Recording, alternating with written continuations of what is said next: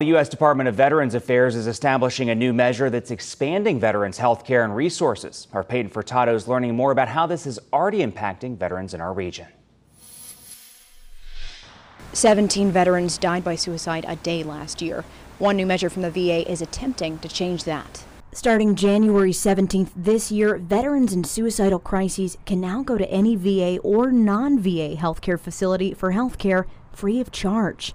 This new measure comes after the pandemic led to more veterans isolated and greater need, according to Greenville County Veterans Affairs Director Alan Dabney. Isolation is never a good thing for any of our veterans because when any of us are alone, it's the worst thing because everything seen is more amplified, is always seen worse.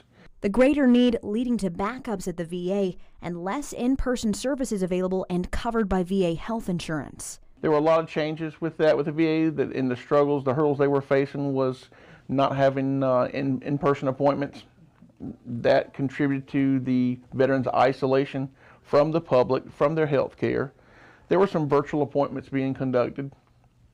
It backed up a lot of that stuff our workload changed. This new measure means all forms of preventative care and treatment in non VA facilities for up to 30 days and outpatient treatment for up to 90 days will be fully covered by VA health insurance, offering veterans more resources and flexibility in times of crisis. We hope that the veterans know that there is help out there for them and there's no need for them to, to suffer by themselves, by alone.